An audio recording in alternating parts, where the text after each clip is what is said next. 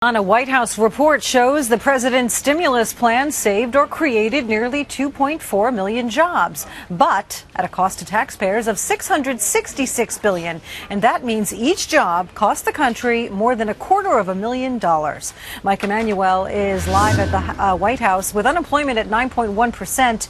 Uh, this massive stimulus package, of course, is a popular target. Mike, they uh, released these numbers late Friday at the start of the holiday weekend. Not so happy about these, perhaps? Well, Patti Ann, that is a technique here in Washington. If you've got bad news to unload, you do it late on a Friday afternoon or certainly leading into a holiday weekend. Uh, but bottom line, $278,000 per job is the math if you break down the $666 billion uh, over the course of 2.4 million, uh, million jobs. Uh, and so, bottom line, when the administration was selling the stimulus package, there was a lot of buzz about shovel ready jobs, putting people back to work. Well, we had a very candid moment with President Obama when he was meeting with his Jobs Council last month. Take a listen.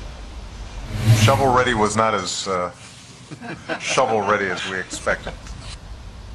So it was a light moment with President Obama, but a lot of American taxpayers at a time when we are so concerned about the federal government's debt may not be laughing about it at this point because, at least from the White House's report, it doesn't look like the stimulus created as many jobs as would have been hoped when it was sold. Patti Ann? Yeah, and uh, that 2012 race is uh, heating up, and you can bet the president's opponents are going to be bringing up these stimulus numbers. Is uh, he going to be on defense on this?